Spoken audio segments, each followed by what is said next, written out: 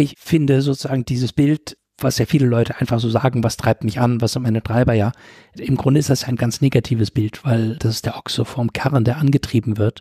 Und das Gegenbild, also auch in dieser platonischen Tradition vom Gastmahl, vom Symposion wäre, was zieht mich an? Was finde ich eigentlich echt attraktiv? So, dass die Motivation kommt, äh, nicht die innere Unruhe ruhiger irgendwie zu kriegen und mich im Grunde an Verletzungen abzuarbeiten, sondern dass ich motiviert bin durch ein Bild davon, wie mein Leben wäre, wenn es wunderschön ist.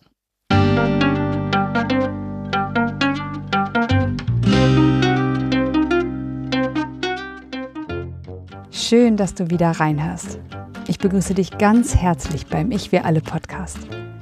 Wir bei Shortcuts laden hier interessante Personen ein, die uns zu den Themen Selbst, Team und Werteentwicklung inspirieren. Mehr Informationen zum Podcast und unseren Angeboten findest du in den Shownotes und bei www.ichwiralle.com. Ich bin Maike Schäbitz und präsentiere dir heute ein Gespräch zwischen Martin Permantier und unserem Gast Michael Bort. Michael Bort ist Mitglied des Jesuitenordens und lehrt an der Hochschule für Philosophie in München. Von 2005 bis 2011 war er Präsident dieser Hochschule. Als Geschäftsführer und Mitbegründer des Instituts für Philosophie und Leadership bietet er Beratung, Begleitung und Workshops für Führungskräfte in Spitzenpositionen an. Bevor das Gespräch beginnt, noch der Hinweis zu unserem Netzwerk für Wachstumsgefährtinnen. Auf www.haltung-erweitern.de findest du unsere Community – mit verschiedenen Gruppen, Angeboten und Events. In der Community tauschen wir uns auch zum Podcast aus. Den Link für Kommentare und Austauschmöglichkeiten zu dieser Podcast-Folge findest du in den Show Notes. Wir freuen uns sehr, wenn du hier dabei bist. Und jetzt wünsche ich dir ganz viel Inspiration und Freude beim Hören. Audio ab.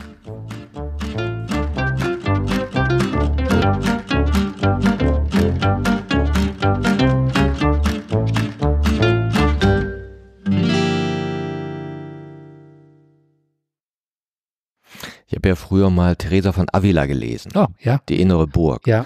Fand ich ja total super, wie sie das so in Kreisen beschreibt. Und ja, sie ja. hat ja im gewissen Sinne auch ein Entwicklungsmodell da Ja, drin. ganz genau. Ja, wo sie so beschreibt, ah, erstmal bin ich außerhalb der Burg, da bin ich drin, dann zeige ich auf die anderen, guck mal, die da Ja, ja, genau, draußen, ja, ja, klar, die ja. entwickeln sich ja Mhm. gar nicht, ne? Und dann werde ich die Checkerin und weiß alles und belehre die Mitschwestern. Und sie hätte eine ganz schöne Sprache, die natürlich aus einem anderen Kontext kommt. Und was ich da interessant fand, und da frage ich auch oft nach, sie sagt ja so, bei ihr ist die innerste Kammer ja die Vereinigung mit Christus, Ja. ja, wo man sagen könnte, ja, okay, das ist auch ein Bild für Transpersonalität oder wie immer man das nimmt. Ja. Und sie sagt, es ist Gnade. Ja. Ob ich diese Erfahrung habe oder nicht. Also ich kann die nicht tun, die kommen wie so Geschenke des Lebens. Ja. Ja. Und ich frage manchmal in, in so Kursen, kennt ihr das? Habt ihr irgendwann mal so Erlebnisse gehabt, wo ihr so einen Bewusstseinszustand gehabt habt, wo ihr so merkt, ach, das geht jetzt über das Normale hinaus. Und ich kann mich in so einer Deutlichkeit sehen und, und bin da so, finde so statt in mir, sehe das Außen, bin vielleicht auch stark involviert und, und alles ist wie, als würde es gerade angeschaltet werden und ist präsenter als normal. Aber irgendwie denke ich, ja, so ist richtig. Ja, ja. Und irgendwie, warum ist es nicht immer so? Oder ich denke, ja, jetzt bin ich zu Hause oder verschiedenste, Ja. alles ist eins, es sind ja verschiedenste Wörter, die Menschen dann da dran kleben. Und manche gucken mich dann an wie Auto und andere sagen, ja, genau. Ja, Ja. ja genau. Sind das dann Gnaden? Passiert das? Wie, wie ist sowas?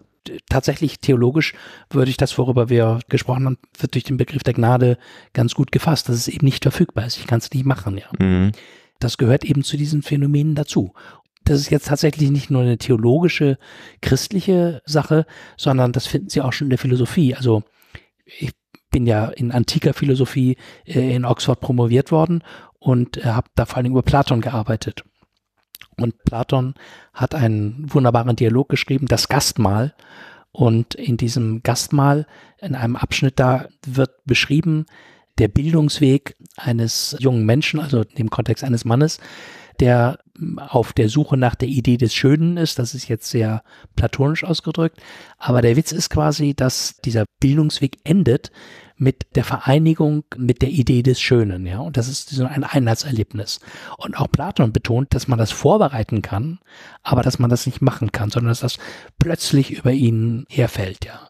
Also auf einmal out of the blue könnte man sagen, macht er da eine Erfahrung. Und aufgrund dieser Erfahrung versteht er es, was er bisher eigentlich alles gelebt hat und dass er in allem, was er gemacht hat, auf der Suche nach der Idee des Schönen war, ja. Und dieses Modell, was Platon 350 Jahre vor Christus irgendwie entwickelt hat, ist dann sehr wirkmächtig geworden, auch in der christlichen Philosophie, auch Therese von Abelin oder sowas, um dann ein Modell zu haben, was hilfreich ist, um genau diese Dinge dann zu beschreiben. Und die Gnadenhaftigkeit der Erfahrung im Christentum würde eben dem platonischen plötzlich äh, erlebte etwas worauf man sich vorbereiten kann. Das ist ja auch bei Teresa von Avila so, ja. Nicht von 0 auf 100, sondern es sind verschiedene außerhalb der Burg, innerhalb der Burg, innerhalb der verschiedenen Sälen in der Burg und so weiter und dann ins Innerste gehen. Das sind eben Erfahrungswege, die in solchen Bildern äh, beschrieben werden. Ja. Und das ist ja so ein bisschen so ein Paradox. Ja. Also auf der einen Seite sagt man, ja, du musst dich vorbereiten, dann machst du dies, dann meditierst du, dann bist du aufmerksamer und dann kannst es aber auch nicht tun. Ja, genau. Also sie ist tun ohne tun. Ja. Und sich vielleicht in der Richtung, in einen Möglichkeitsraum zuwenden, ja, wo man sagen kann, okay, der Raum hat weniger Möglichkeiten, der hat mehr und ich kann versuchen, diese Räume einzuladen. Oder, ja. Und was ist dann der aktive Teil, den wir dann dazugeben können? Und ein Aspekt, den ich auch spannend finde, der wie Sie das dann beschreiben, bezogen auf das bestmögliche Leben, was ja auch so ein bisschen manchmal die Treiber sind, bewusst oder unbewusst hinter diesem Selbst entwickeln wollen. Warum will ich das denn eigentlich? Ja. Das kann ich natürlich aus einer Not heraus sein, weil ich in Spannung mit mir bin und will, dass es aufhört. Nicht selten der ja, Einstieg, ja, ja, weil ich an mir selbst leide oder meinen Kritikerstimmen ja. und da eine Distanz zu haben möchte. Und dann verändert sich das ja auch in so einer Hinwendung, wie Sie auch sagen, so bitte das eben, was macht denn mein Leben aus? Ja. Und da haben Sie auch so verschiedene Angebote, wie wir auf das Leben schauen können. Ne? Ja.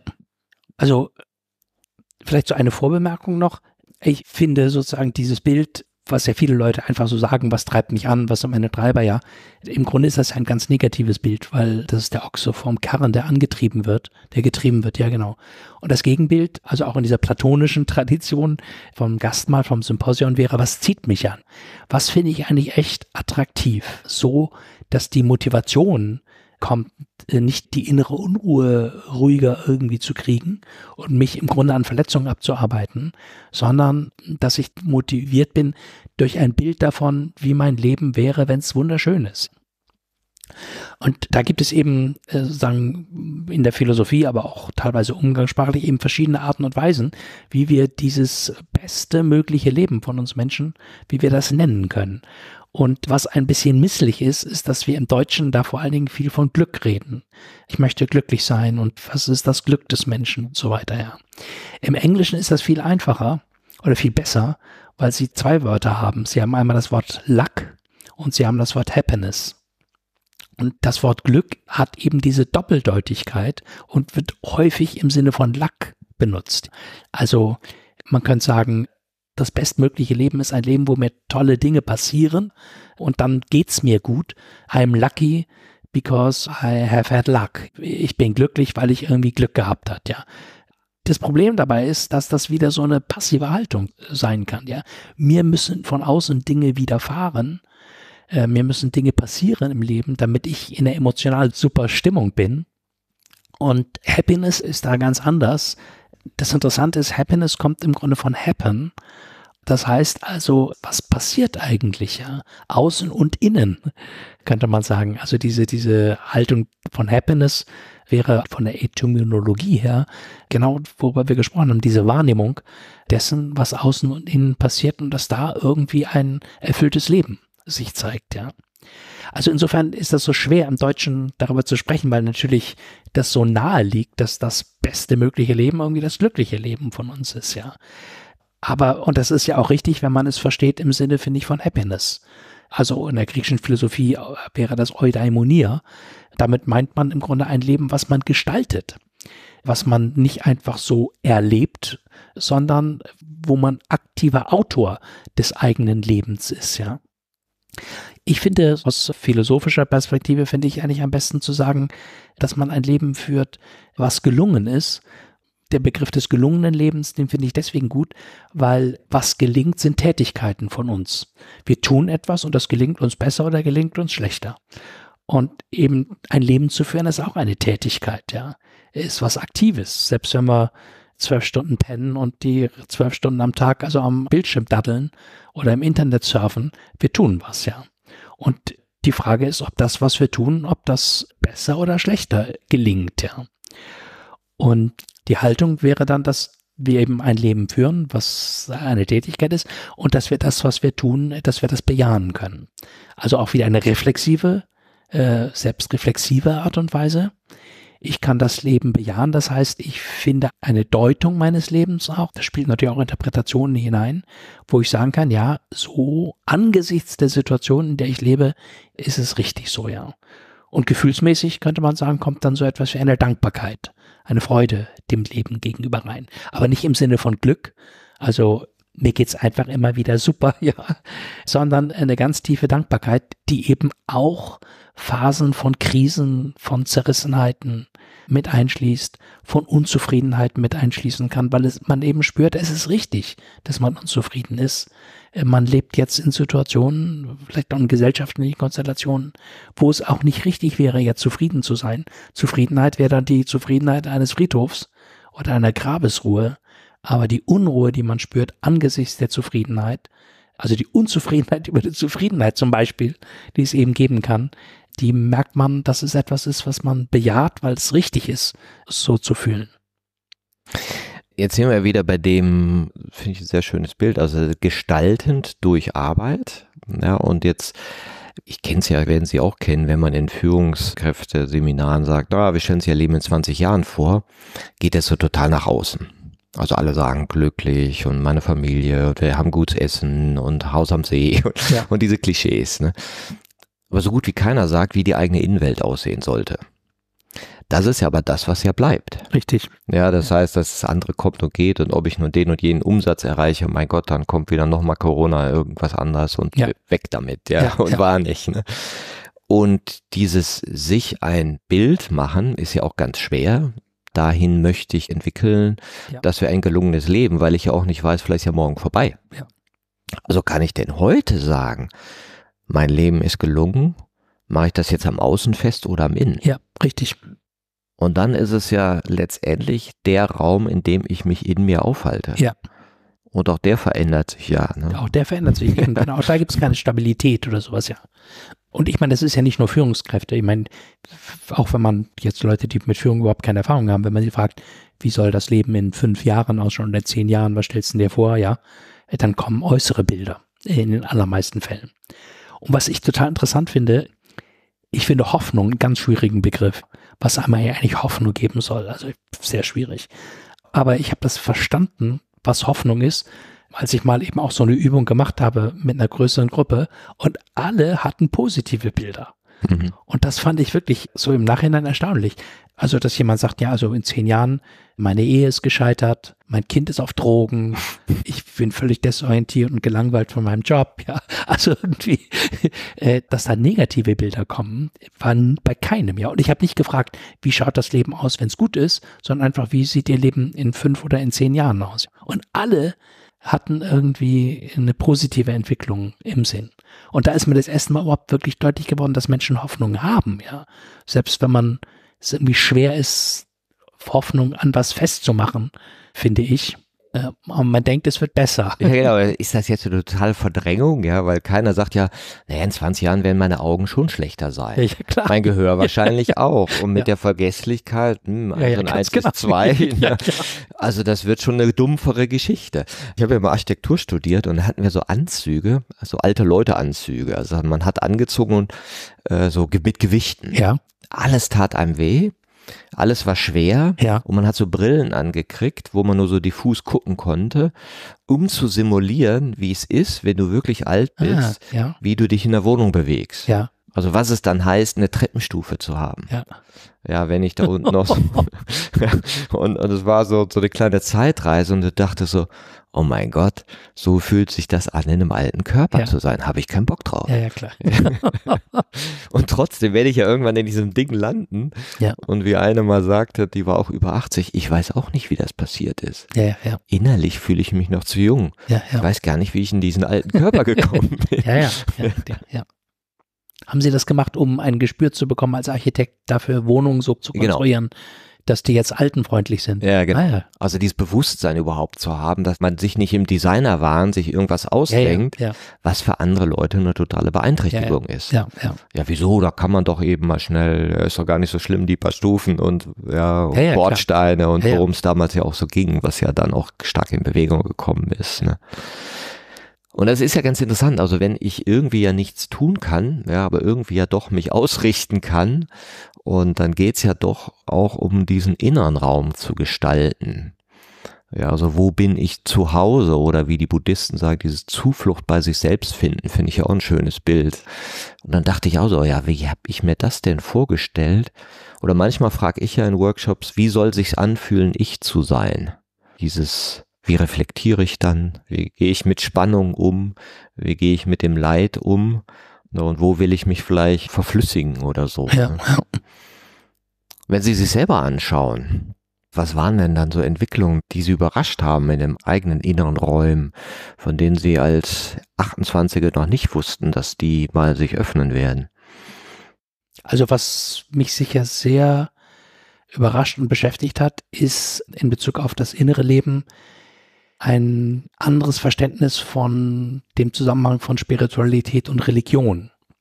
Ich bin natürlich in einem, da ich mit 28 in den Jesuitenorden äh, eingetreten bin, ganz klar in einem religiösen Kontext aufgewachsen und habe auch Spiritualität und das Innenleben in einem religiösen Kontext kennengelernt.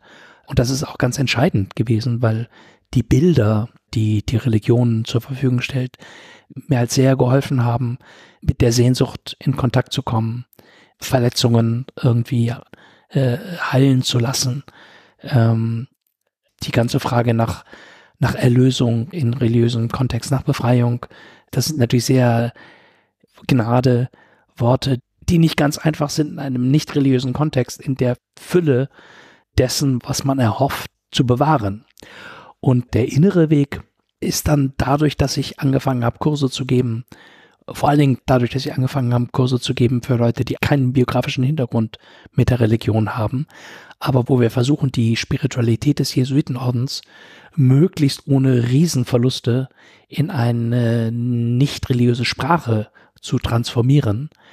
Und wo ich gemerkt habe, also das funktioniert, wäre das falsche Wort, aber die Prozesse, die angestoßen werden, wenn Menschen auch in einem nicht religiösen Rahmen anfangen zu meditieren, mit derselben Technik quasi, die auch im religiösen Kontext verwendet wird.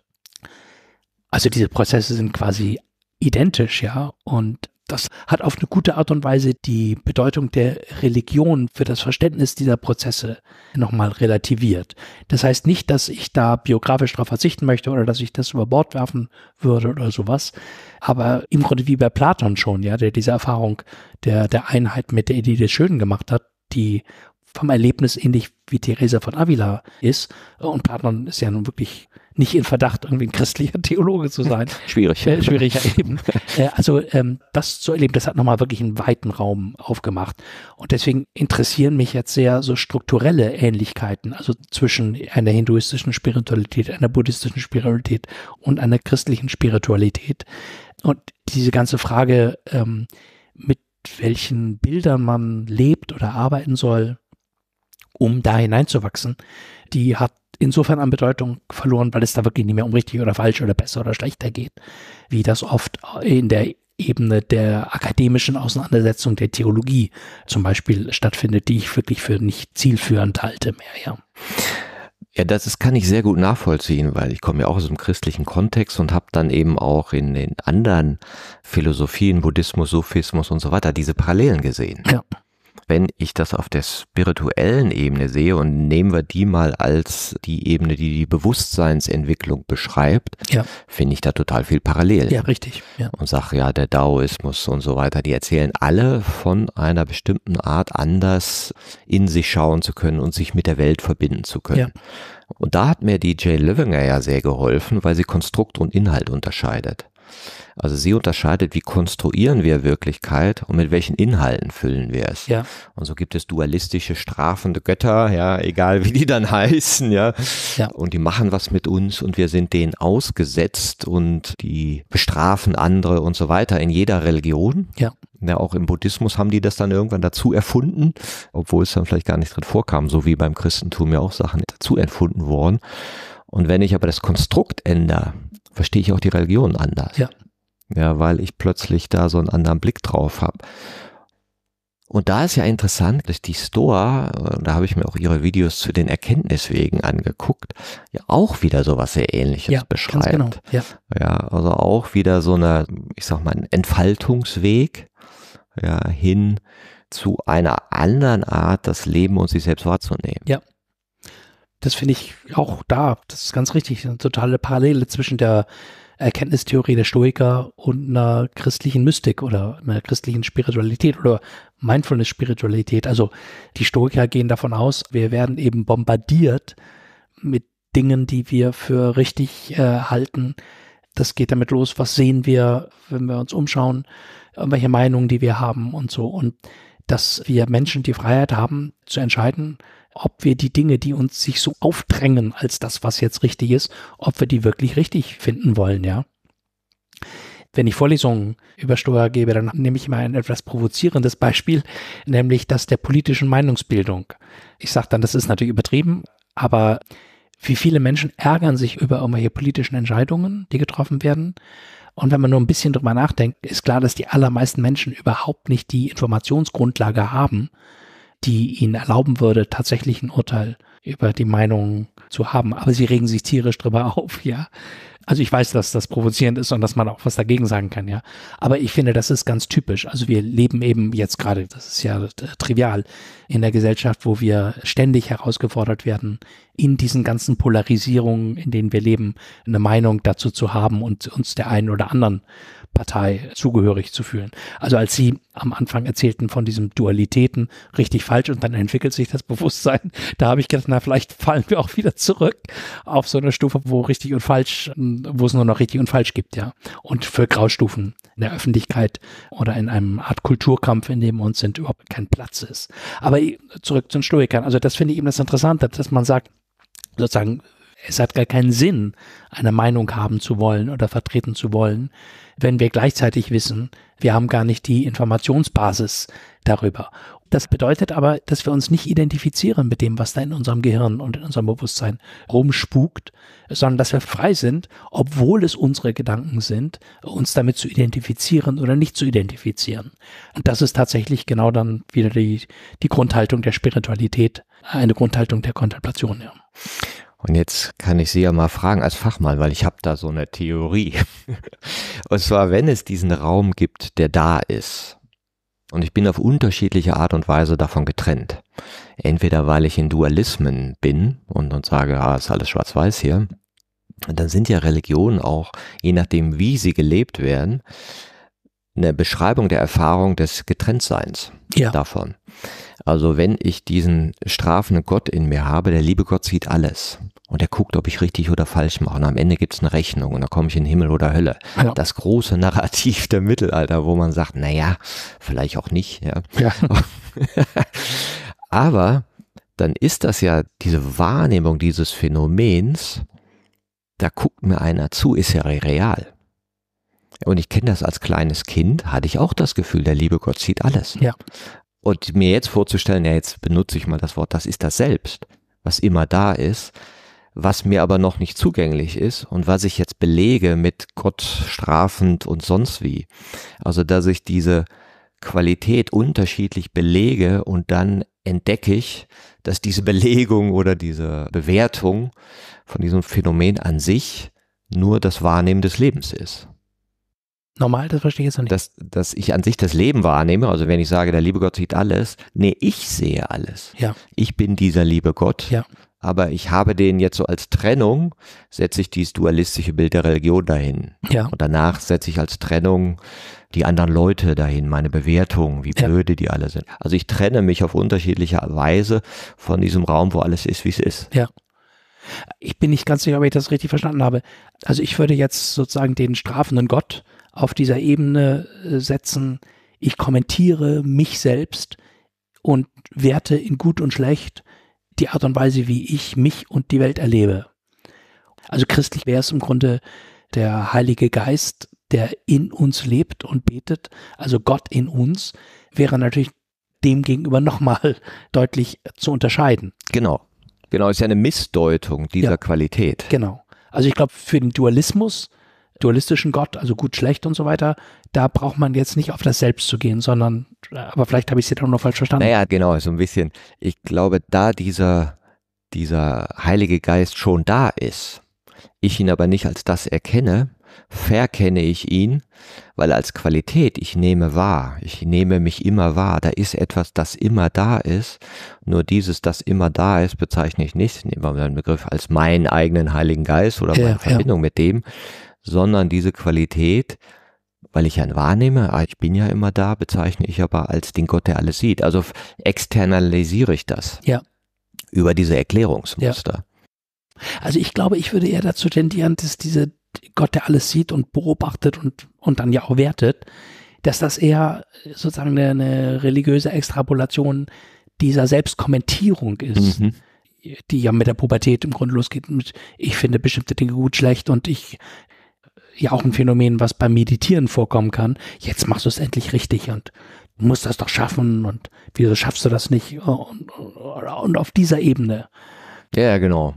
Susan Cook-Reuter, die auch so in der Forscherin in der Ich-Entwicklung ist, sagte immer, Entwicklung geschieht dadurch, dass wir nicht was Neues machen, sondern mit was Altem aufhören. Das fand ich Ah ja, auch ein schönes Bild. Ja, richtig. Also je weniger ich diese Art von Kommentierung zulasse, Ja, ja. Würden Sie dann sagen, dass Sie sozusagen weniger religiös und mehr spirituell geworden sind? Also ist das, wie man es beschreiben kann? Ich glaube, man kann das so beschreiben, aber es würde dem Selbstverständnis von Religion nicht gerecht. Ich glaube, also wenn man Religion als ein konkretes kulturelles Phänomen sieht, innerhalb dessen es sowas gibt wie Spiritualität, dann könnte man sagen, dass ich ähm, mich teilweise von diesem kulturellen Aspekt entfernt habe und spiritueller geworden bin oder sowas. Aber wenn man sagt, äh, im Grunde geht es in der Religion um Spiritualität, das ist der Herzschlag des Wesen von Religion und alle Religionsstifter haben eine spirituelle Erfahrung gemacht und wollten die in ihrer Sprache, in ihrer Kultur, in ihren Bildern weitergeben und haben einen Weg gezeigt zu der Tiefe der Spiritualität, der Vereinigung mit Gott im Christentum hinzukommen. Dann würde ich sagen, nee, also wenn die Spiritualität das Zentrum der Religion ist, dann bin ich auch ein äh, immer religiöserer Mensch geworden. Mhm, mhm. Ja, genau. Ist ja eine Frage, aus welcher Haltung wir auf Religion schauen. Ja, genau. Ja, und als welche Art von Konstrukt wir es begreifen oder vielleicht auch akzeptieren, dass sie in unterschiedlichen Konstrukten existiert. Ja. Ja, aber ich finde, das sieht man, das ist eines der großen Krisen der Kirche heute, wenn Sie in normalen Sonntagsgottesdienst gehen äh, oder wenn Sie eine Pastorin, einen Pfarrer fragen, ich möchte gerne meditieren lernen, wie macht man denn das? Die sind blank, ja, weil sie eben selber nicht in einer wirklichen spirituellen Übungspraxis drinstehen. Und das ist eben, was Menschen suchen. Deswegen ist der Buddhismus auch so attraktiv für viele, weil das ein Übungsweg ist, den man gehen kann und wo gro- große Versprechen dahinter sind. Dass das im Christentum auch gibt, aber jetzt nicht so sehr in diesen diözesanen Strukturen, also den Kirchen, sondern in den Klöstern. Und dass die das leben, ja, das wird vergessen oder das kommt viel zu wenig zum Tragen. Und ich glaube, wenn die Kirche nicht spiritueller wird, oder ich glaube, ich glaube inzwischen auch nicht mehr daran, dass sie spiritueller wird und äh, die wird natürlich erheblich an Bedeutung verlieren weiter. Interessanterweise hatte ich mehrere Einladungen zu kirchlichen Veranstaltungen, weil die das Buch über Haltung gelesen hatten, dachten, ach ja, da ist ja was drin für uns. Weil die sich auch danach gesehnt haben. Es waren alles Menschen, die sich schon verbunden gefühlt haben mit den Werten, sagen wir mal, Ja. die, die da drin sind, wo du sagst, naja, eine Gesellschaft mit Nächstenliebe, wenn man es mal so einfach darstellt, ist ja so schlecht nicht. Ja, und all das, was man damit verbindet. Aber dass die auch das Gefühl hatten, sie sind nicht reformierfähig. Ja. Das fand ich auch nochmal interessant. Also sagt man einfach, naja, okay, ihr habt jetzt solche Narrative gefunden, aus der Nummer kommt da nicht raus. Ja, jetzt habt ihr so Personal angestellt, das Ja, eben ja. nicht meditiert. Ja, mh, dann müsstet ihr auch nochmal richtig dran arbeiten oder Schulung machen. Oder müsst ihr in Kauf nehmen, dass ihr nicht mehr die Bedeutung haben werdet. Ja. Oder seid ihr reformierfähig? Das ist ja bei Unternehmen ja auch so. Inwiefern können die sich von ihren Selbstgeschichten lösen oder ihren kulturellen oder gehen sie ein und es entstehen neue? Ja. Ja.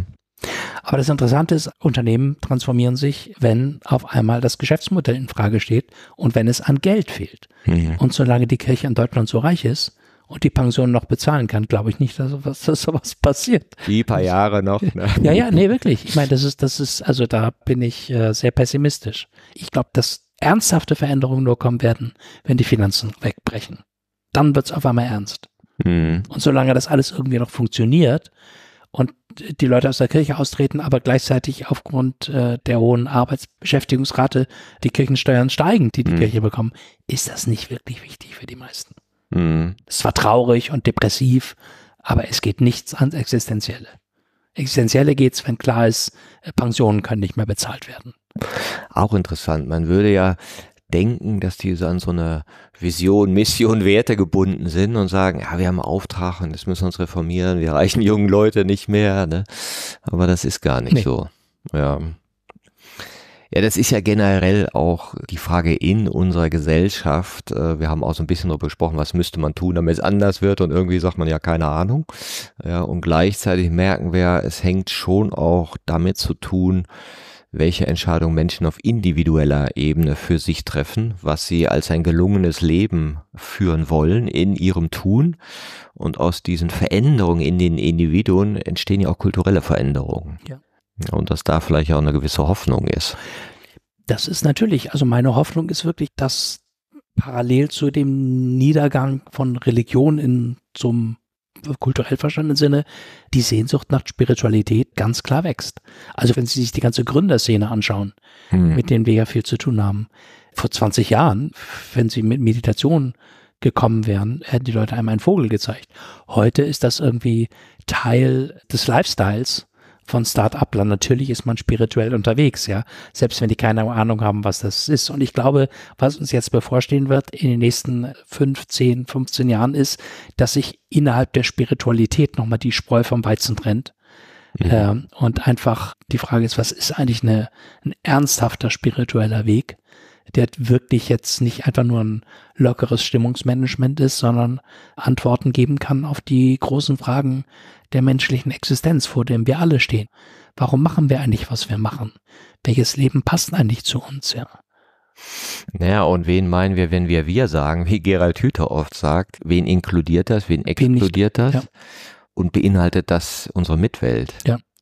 Ja, weil das ist ja auch so, Richtig. wo wir so merken, ach, die Natur, die ist da so draußen und man merkt so, nee, Nee, ja. wir finden ja da drin statt. Ja. Und wir sind ja auch in dieser total symbiotischen Beziehung mit der Ja. Natur. Ne? Ja, wunderbar. Jetzt für den Abschluss zum Beispiel. Jetzt habe ich mich ja auch die Tage so ein bisschen gequält mit dem äh, Gedanken, ist mein Leben gelungen und wollte natürlich nicht in so ein Vergleichen reinkommen. Ne? so, ah, das hast du gut gemacht, das hast du schlecht gemacht. Dann bin ich ja wieder in so Bilanzierungsmodus, ja. Wie haben Sie oder entscheiden Sie denn so für sich, ist mein Leben gelungen? Wie entsteht so eine Antwort in Ihnen? Also das ist sich, das entscheidende Kriterium ist sicher der innere Weg, die Spiritualität. Man könnte sagen, das, was dadurch in meinem Leben passiert, dass ich an der Meditation echt dran bin, ja. Und zwar sowohl im Äußeren als auch im Inneren, was da passiert, ja. Und ich finde das hochspannend, so ein Leben zu führen. Es hat mich auch privat oder quasi beruflich irgendwie wirklich weggeführt. Man könnte sagen, von der Reflexion in der Philosophie. Ich arbeite noch an der Hochschule für Philosophie in München als Professor, aber bin entpflichtet, weil wir eben diese gemeinnützige GmbH, dieses Institut für Philosophie und Leadership gegründet haben. Und mein äußeres Leben hat sich völlig geändert, weil ich eben mit Menschen in Kontakt komme, Ingenieure, äh, Juristen, Banker, Start-upler, mit denen ich nie als Philosoph in Berührung gekommen wäre. Und irgendwie zu gucken, wie ändert sich eigentlich das äußere Leben? Wie ändert sich das innere Leben? Und ein Leben zu führen, in dem man das, für was man selber einsteht und was man selber für wichtig oder das Wichtigste hält, das nach außen weitergeben zu können und dann auch den Eindruck vermittelt zu bekommen, dass das wirklich hilfreich für Menschen ist, das ist schon sehr beglückend auch. Ja, da danke ich auch sehr für, weil Sie mich auch sehr viel inspiriert haben, weil Sie lesen ja Ihre Hörbücher selbst. Also auf vielen Autofahren haben sie mich auch schon begleitet und ich kann dann immer schön in meinen Workshops und Seminaren Zitate bringen. Also vielen Dank auch dafür. Und ich glaube auch, und das ist ja das Spannende, dass wir jetzt in so einer Zeit leben, wo so Disziplinen zusammenkommen, die sonst ja. getrennt gedacht ja. wurden. Ja, und dadurch entsteht nochmal so eine neue Multiperspektivität, anders auf die Dinge draufschauen zu können und neben nicht, dass der Betriebswirt nur denkt, Wachstum ist es, ja, sondern seine eigene Innenwelt auch anfängt zum Thema zu machen. Und da, glaube ich, liegt da eine große Kraft drin. Und da freue ich mich, dass Sie so viele schöne Bücher schreiben und die Menschen inspirieren. Ich danke sehr. Ja, danke für das Gespräch. Schön, Sie kennengelernt zu haben. Ja. Danke.